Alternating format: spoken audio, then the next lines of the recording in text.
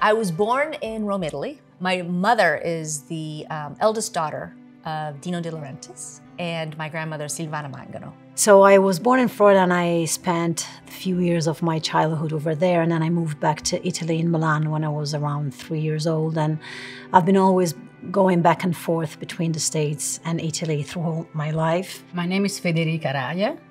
I was born in Naples and now I live in Venice, California. My name is Raffaella Camera. I was born and raised in Pesaro and now live in Santa Monica.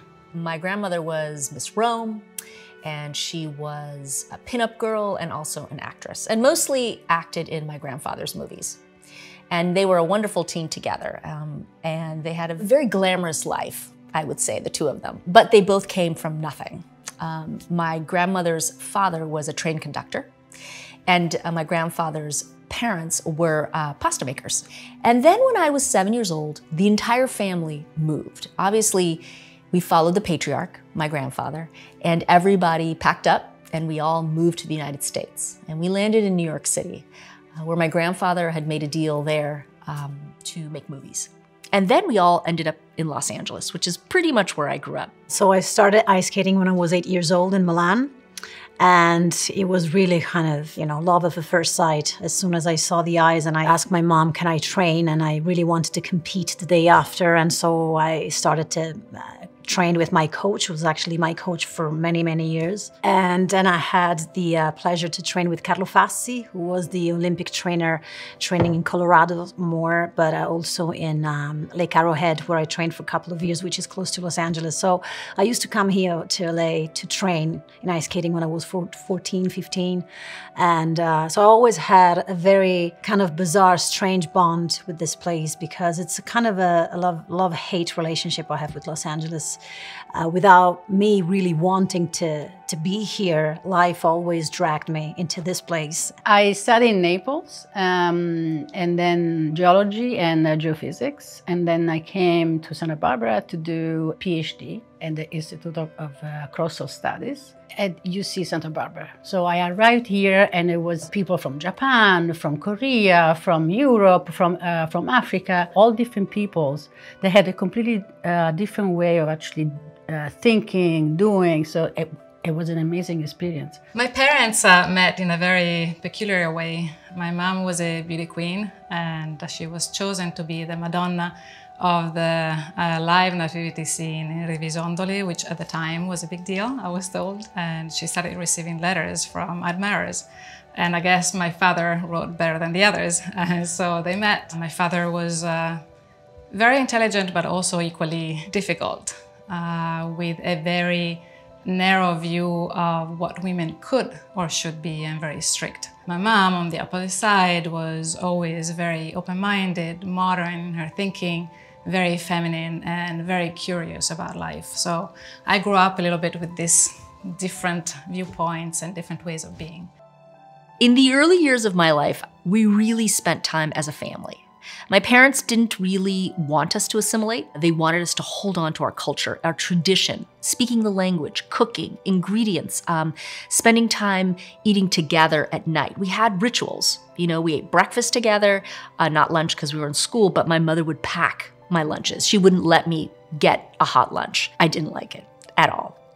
But today, obviously, I wouldn't be able to do what I do without all of that, holding on to culture and heritage and speaking the language and uh, learning to cook and learning our story. My grandfather really hammered it into us that you have to remember where you're from. You can't lose that because it's the thing that will define you later in life and will ground you. And I think that's probably very true. I definitely wouldn't have been able to come up with all these recipes and all the stories behind it had I not paid attention and if they hadn't pushed it so hard on us.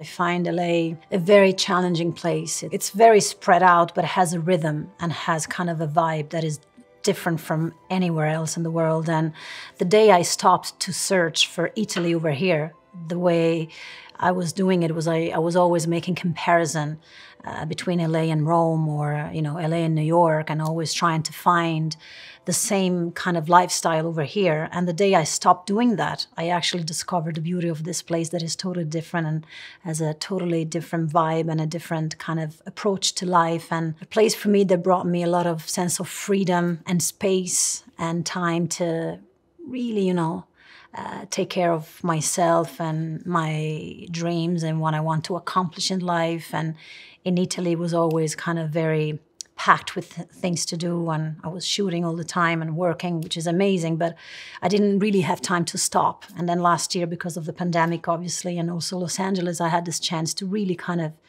took a moment for myself. And so I can talk for hours, but anyway, my, my bond with LA, it's very strange. I started as a volcanologist and I was very excited because, you know, being from Naples, I grew up with the city, with the Vesuvius, and my, you know, my passion was to study the Vesuvius. And I did so for many years. And then I was in New York. And when I was in New York at the um, American Museum of Natural History, doing postdoc there, I developed other interests in communication and education. I met there some colleagues. So we worked together and always together to design courses, to design a program. So this exposed me to all this other world in education, in communication, and I got very interested in that. And slowly, slowly, I realized that I was developing a strong interest in the research in that field. And so I, I was looking at how people were teaching and understanding what science was. And I realized there was a, a disaster. and then I wanted to participate in changing that with other colleagues. And so when I was at CUNY, uh, I changed slowly in another field, which is education. I also wanted to do everything that my brothers did. I idolized them and I wanted to be exactly like them. So I was a little bit of a tomboy. But they were swimming, for example, when they were little. So when I was two, I started swimming and I competed until I was six. Uh, and I won the national championships uh, when I was three and a half in the category for kids under six. I then started playing the piano when I was four Again, my brothers were playing the clarinet and I wanted to do what they did. So I asked my parents if I could play an instrument and I chose the piano. My mom was an elementary school teacher and she had already taught me how to read and write at home and I was getting bored. Uh, she tried to send me to kindergarten or preschool and I raised hell.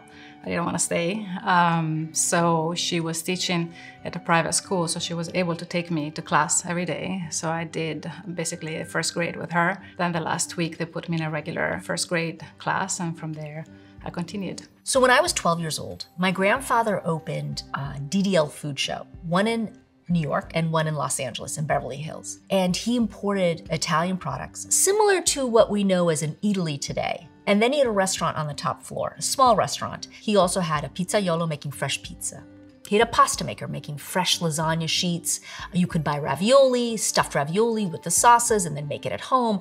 He had all of that. He had a butcher, he had uh, a fishmonger, he had all of those uh, things there within this space. But I think the thing that I loved the most was that he brought all of his pizzaiolo friends that he grew up with in Naples and all his pasta maker friends. Imagine the excitement and the curiosity when people came in, and then the oohs and ahs, and then the aromas. To me, the aromas in, in the space were the most amazing. And then the chatter. Everybody talking and being lively and being friendly and it was just an unbelievable environment for me. And for my grandfather, he seemed like a kid in a candy shop. You know, I wasn't really looking to become an actress at all. And I started to do some ads for TV and I didn't really like it. I, my parents were both working in, in the fashion industry and I couldn't care less. I, they looked at me once in this model agency in Milan and they took measure of my hip and my waist and they say, oh, this girl doesn't exist because I'm very tiny. And I said, How dare you? I don't exist. This is like nonsense. I don't I don't want to do this. It was so clear to me that I was not interested at all in being a model or doing anything that has to do with fashion directly. So then I started to audition and then I end up having this agent in Rome and he called me. I was actually on the bus and it was raining, it was pouring rain in Rome. I had this long stripy dress made of wool. So with the rain, it was very heavy and very long and I dragged this dress all around the place and I hop into the bus and then I arrived in Via Romagnosi, very far away where the Rai studio were at the time. And then my agent at that time called me and said, you know, uh, you need to come back because Lina Wertmüller wants to meet with you. I was like, what? Really? It's like, yeah, yeah, you have to go back. Like, she wants to see you now. So, anyway, I took my bus back with my heavy dress full of rain, blah, blah, blah, and I arrived to Lina's home. Now I'm uh, uh, concentrating on studying how, in the practices of teaching or medical interactions, where there's also teaching in practice, people respond to each other, you know, normally, as they always do. So I do that to work with practitioners, teachers or doctors to modify these practices to make them better. When you see yourself in video, acting and talking to other people, you, you can study yourself and understand certain things that you would like to change. When you work with practitioners like me, uh, researchers, they can actually show you other things. They're there, they're positive or they're, you know, they need to be changed. It, it becomes a dialogue in which you can both grow.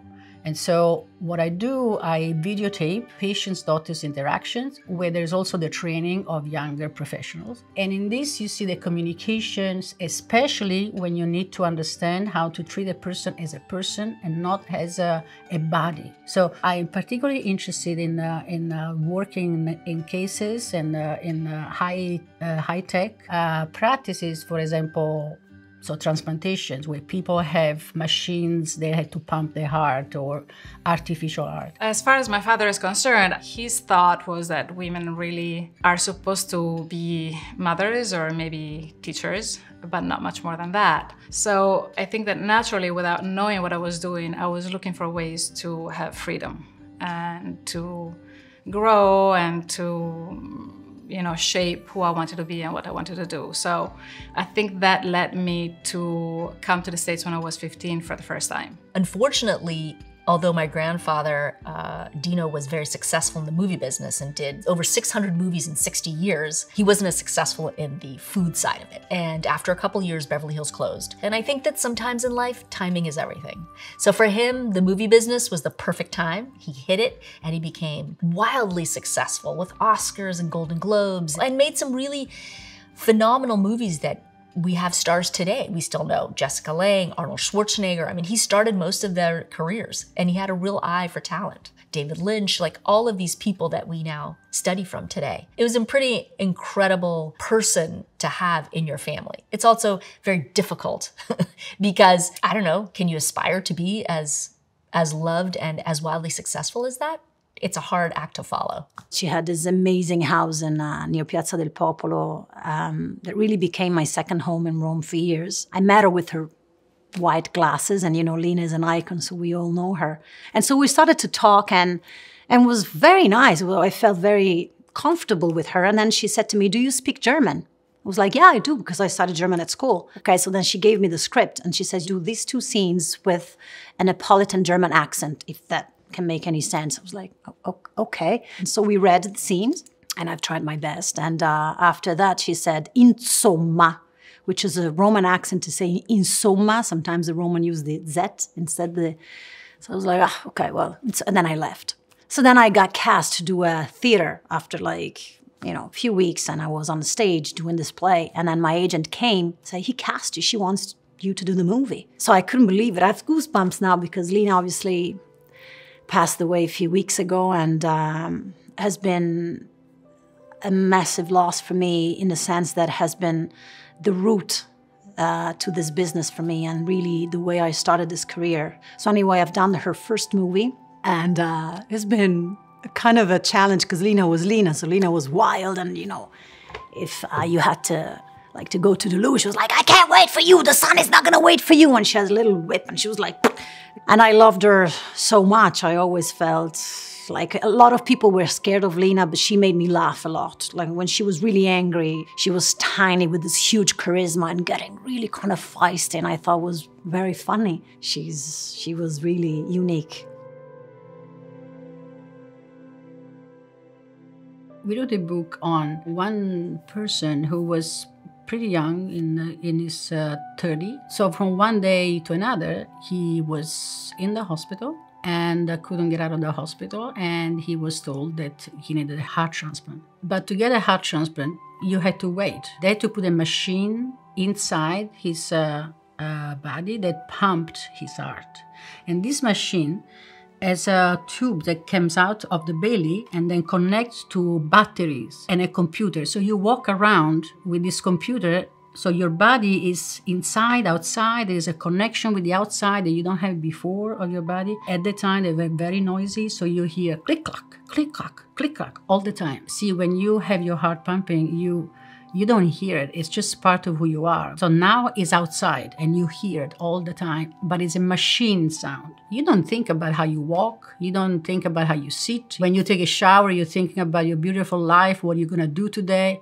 That's not it. And so it changes your life completely. When you go through an experience like that, it's so powerful, so dramatic. It, it, it really changes your entire understanding of who you are because all of a sudden you see your life as before transplant and after transplant. So this moment becomes a break in in uh, your life and also becomes very difficult to relate yourself to what you were before. And so how you reconcile this and keep going as yourself. In this case, his daughters are particularly powerful in how they help their patients to actually reconcile the sense of self throughout their life so their relation with the patients is not just taking care of the heart, but is to uh, taking care of the person. And that I found it really powerful, and we have a lot to learn from that. So I decided to concentrate on that because this is exactly what we should do in any case, everywhere. Uh, how you help a person that needs to find her own or his own or their own way of living. It's very difficult, and so that's what I'm studying. I was an exchange student, and I think that the year not only taught me how to live in the States, how to be in the States, and certainly helped me later on when I came back, but it also made me grow up quite a bit. I became more independent faster, and when I came back to Italy, my parents had separated. So for me, that year was almost like changing completely from one book to another, not even from one page to another. At first, both my parents uh, seemed very supportive of it. But then, right at the end, when I was ready to send the documents to Rome uh, so that it could find me a family, my father changed his mind and he decided that I could not go. Um, and that was probably one of the most difficult parts of one of the most difficult things that happened, really, probably in my family because it, it, it kind of like made it explode. Um, very different personalities in the house, but at this point, the only way for me to come was to really have almost somebody else decide. Uh, so in, in the middle of all that, my parents separated, and at the end of the day, a judge ended up um, signing for my father, allowing me to come. My mother, for me, was um, uh, everything pretty much. Because my father was so difficult, she was really kind of like my escape. She always let me do whatever I wanted. She had to deal with a lot. She had three kids. She was going to the university. She was studying, and she did not have a supportive husband at home, uh, a rather difficult husband. Yet she managed to do it all. Uh, she took care of us, and she let us live our life the way that we wanted. She let us leave when we wanted to leave. Um, so I I owe everything to her.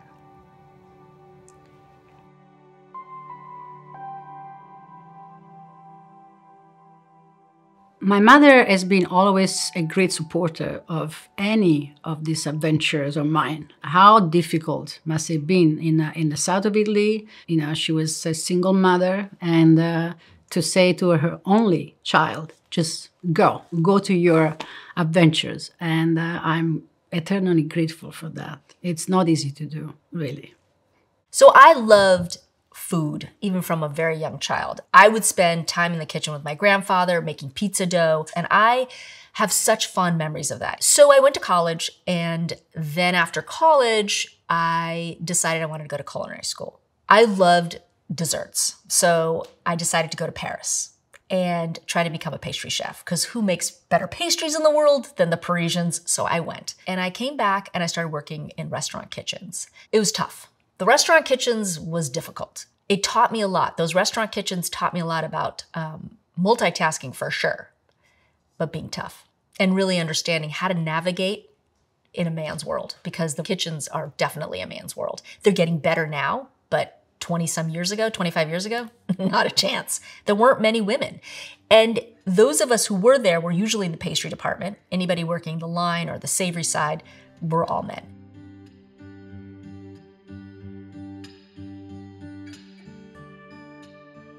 In the last few years, obviously, I've been working for 23 years now. So, and I have a very happy career and I'm uh, very grateful, really, for, for what I achieved. But uh, I started to feel kind of stuck. I'm very passionate as a person and also with ice skating and with everything I do, I always had a very strong kind of you know, bond with the thing I'm doing and I'm totally immersed and I'm totally devoted and I'm that's the way I approach life in general and my career. And at one moment I started to feel less engaged. It started few years ago when I really had this need to go back on stage because I was doing a lot of TV and in Italy unfortunately they had for years. I think now it's shifting slightly, I hope.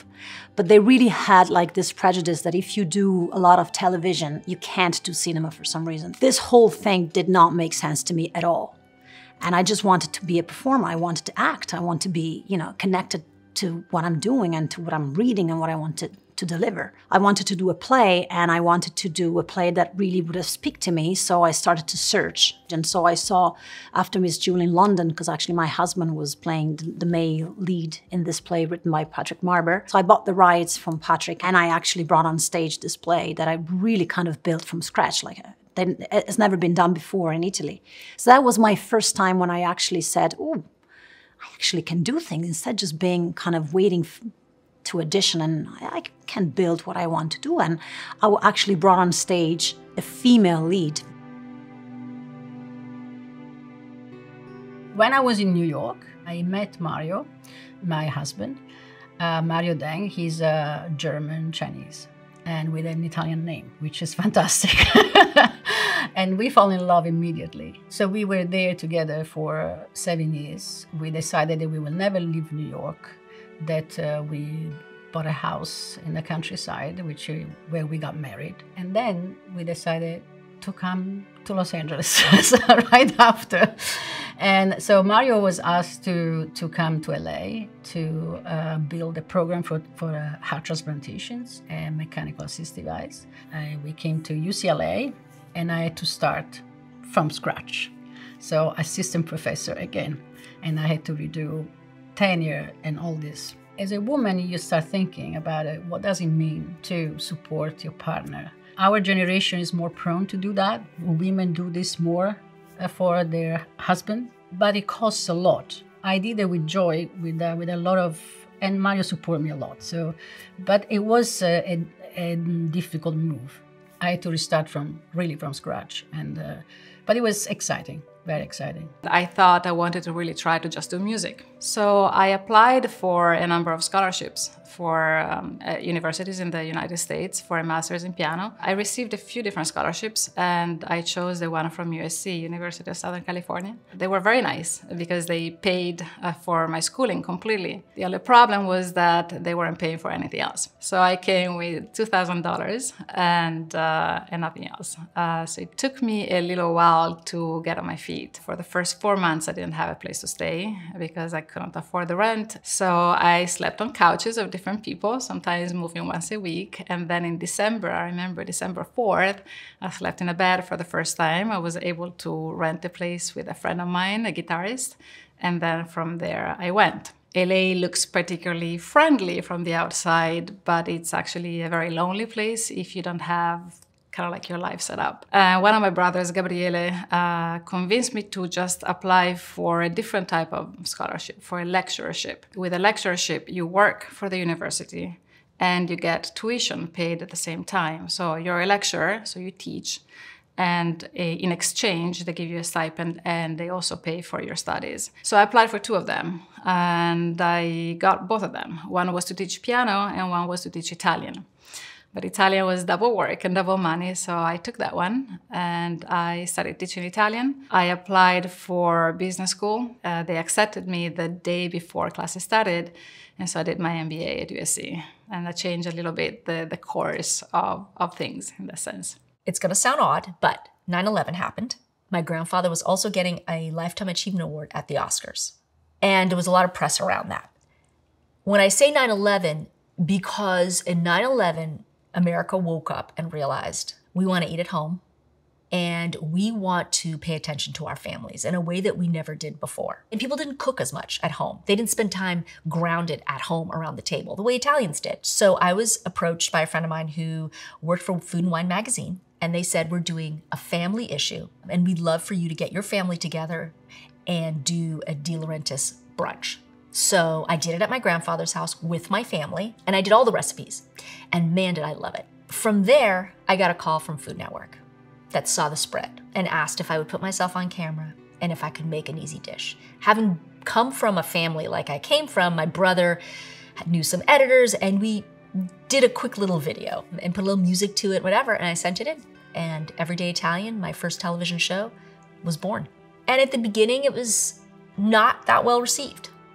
You know, I looked to my Aunt Raffi really, who I, I really looked to her for guidance of things that were okay and weren't okay. I was really scared. But I do remember my grandfather being very worried. The shift that I had, I started to think, okay, now I'm 40 years old and I've done a lot. And what do you really want to do as an adult? And where, where do you want to go? And I didn't know really where to start it. And then I started to developing my own ideas. As I can actually look at this and get the rights and develop the story, or I can start writing with the writer. I know, you know, I've been working for so many years, so I know a lot of people, amazing people and talented who actually want to have new kind of tasks or work that really connected to something. I started to work on different projects. Now I'm, I'm working at six different projects. That some of them are already into production, kind of advanced state of production, and I just finished to complete my the subject of my first movie. But as Lina said, you know, the secret is taking actions. Don't be up here. Or, you know, and so I just sat and I was like, okay, I need to get out of this of the mind and started to be creative. I see the younger generations, they do completely different things. They completely, you know, the husband uh, support the wife, the wife support the husband independently of the gender, you know. So that I, I found it very beautiful. Would Mario have supported me? I don't know because the situation never presented itself. But Mario has been always very supportive of, of my work and career. And I have to say, he, uh, he is my agent. He's fantastic. When he talks about my work, I could win a Nobel Prize. so um, I'm lucky to be, you know, to, uh, to have met him. Also, uh, this started a collaboration on the professional side. I had to say though that uh, we tend to, what they say here, talk shop all the time. So when husband and wife work together, there is a possibility of talking work all the time. So we had to set some rules. That's it. Glass of wine. Let's talk about something else in the evening. so, but uh, it's been an amazing journey, really. So at the end of business school, I had to decide what kind of career I wanted to have. What I didn't know is that I wanted to have a career that allowed me to still be creative, that led me to innovation. In about 2010, I started dipping my toes in AR and VR, augmented reality and virtual reality. It was at the very, very beginning of things, so that led me to being uh, called by Accenture to help them start and grow the uh, XR practice, XR, AR, VR. Next, that experience uh, led me to join Epic Games. So I went even more into innovation, into what is the future, gaming, the metaverse. I am currently uh, head of brands and advertiser solutions for Epic Games, and Unreal Engine. So it's my job to form strategic relationships with biggest global companies in fashion, in retail, apparel, beauty, and really work together to create their presence in the metaverse. If you were in the movie business, TV was way below you. It's not like today, where the TV business is actually much bigger almost than the movie business is. The cachet was below what he felt our family and our family name should be part of.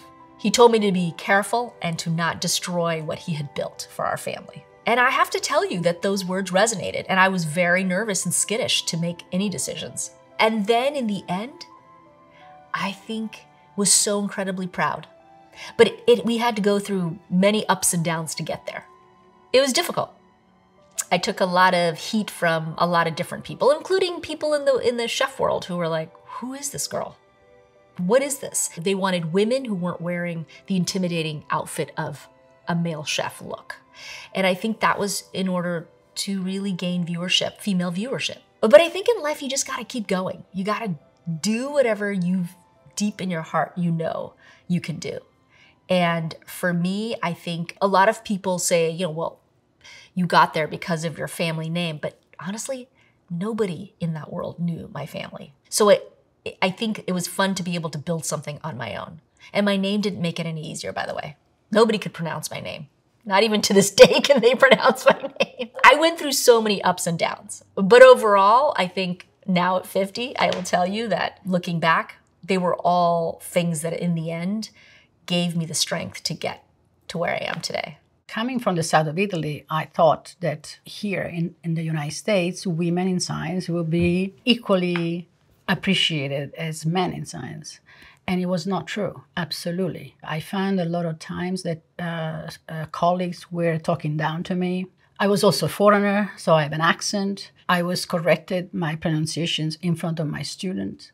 I was uh, told to shut up in meetings. Of course, I fought back immediately because, as a good Neapolitan woman, I fought back on this. It was there and it was always there. It was not rare. That's what uh, shocked me. I saw the difference with other colleagues. They were losing their sense of being a woman and i didn't want to do that and so you had to work much harder to be recognized you cannot make a mistake because if if a man does a mistake okay if you do a mistake oh, you're not good you're not good enough i had to modulate my my way of talking more gentle more, without strong emotions in my tone and men talking like me was firm and this is everywhere here too in California, everywhere is like that. It continues to be like that.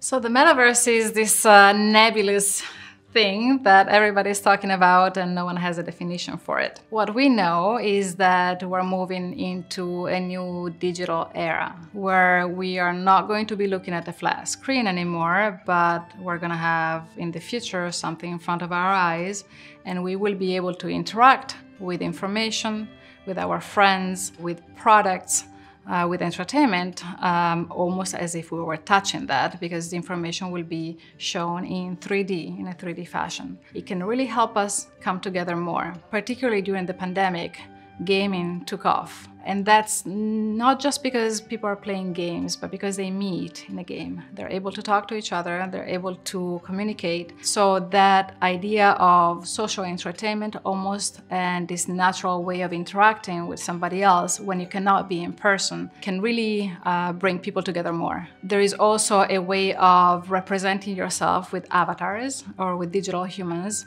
and, and really kind of like almost be who you want to be and bring yourself in this new world, depending on how you feel that specific day, depending on what your sexuality might or might not be. But this idea of digital self-expression, owning your persona and bringing it along with you in whichever virtual world you might be is certainly a beautiful one uh, that can be explored. I think that the biggest achievement is probably opening Giada in Las Vegas on the Strip. It was the scariest. It was the the biggest risk I think I have ever taken. There weren't many people who had faith that it could be successful. And also at the time when I opened it, there weren't, except for maybe one other celebrity female chef, there weren't any on the strip. They were all men. I think that, you know, they feel that women don't have the um, drive, they don't have the stamina. And so that that took a lot out of me. I mean, I ended up getting divorced. Uh, I had a young child at the time. Uh, it, it, was it was traumatizing. It was very difficult. Um, but we got through it, and seven years later, it's still one of the most successful restaurants. And I did it the way that I wanted to do it. I fought tooth and nail, but I did it. And I think for me, that's probably one of the biggest achievements, and probably the hardest thing so far that I've had to endure. I always say is like I discovered a new color in life. I love painting, and when you have a, a baby, when you become a mom, there's a new color that has been created on your palette that you didn't you didn't know existed before. It didn't actually exist for you. And so motherhood brought me, you know, completely different perspective on things, especially for people who does our job who's so ego-centered and ego-driven sometimes, which is actually the path and the route to unhappiness. I really believe that. So actually motherhood has been the most amazing experience for me. It's unthinkable before, I think, if you're not a mom. It completely shift the world completely into another perspective, which I think's I think on the creative way it's actually really important because allows you to experience things differently with a different kind of intensity. One of the difficulties uh, moving to Los Angeles when we came to UCLA was that I arrived as a, a spouse hired. I was considered the wife of and that was for me one of the most difficult moments in, in my life because I came to, to this country alone. I didn't come with Mario, I came alone and I made it by myself. It created for me uh, a space where I couldn't recognize myself. Also because I changed career, so I didn't have any anything to hold for me and tell me you are this. It was hard, um, so hard that sometimes people were insinuating that uh, my work was done by Mario, that I had to demonstrate that uh, the book was written by me and not by Mario, the research was done by me and not by Mario. And so I said, fine, I can do that, but th- do you mean that uh, I can take care of patients with heart transplantation because if we are exchangeable like this, he can do my work, I can do his work. And that was it. but you have to really push back for, for these things over the past few years, particularly here and particularly, I would say, in LA and in this environment, women definitely have started sticking together. We even meet once a week with one of them. It's called Women in XR. And I don't think there is really necessarily competition. Yes, there might be competition if you get to the same position and you want the same exact thing. But otherwise, I actually found there is an understanding of we need to push each other if we really all want to rise up. It's a very different environment and it feels really good to spend time with them. You'll hear a lot of people tell you, oh, what do you think you're doing? You can't do that. I heard that a lot uh, when I was applying to come to the States. Um, I remember one of my teachers calling me to the side and saying, Camilla, what do you think you're doing? Come on. Just don't pay attention. Keep on going and you know keep your sense of adventure and curiosity. Don't give that up. And it doesn't matter where you're coming from. You don't have to come from a big city. You don't have to come from a perfect situation. In fact, I find that sometimes if you don't come from a perfect situation, if you have something that you don't like, it's easier to try to find a different solution and go outside of, of the regular way that you would do things. My daughter's 13, and 13 years ago, I was scared out of my mind to have a child. And I thought, oh my God, my life is over. How, how am I gonna work as much as I work and also have a child? It was, it was hard. It was very difficult at the beginning. And I used to cart her around everywhere. But I also think that she changed my career.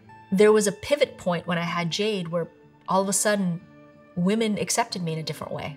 It was like I was one of them all of a sudden. I wanted to be an inspiration for my daughter. I wanted her to know that you can be successful in whatever you're doing and have a family. Are there some costs? Definitely. There will always be some costs, but you can do both things. You can be passionate in your work life and be fulfilled and also passionate in your home life. The more traditional sense is that women stay home, but I think it's starting to change. And I think we're open to helping each other. And I think that young girls need inspiration.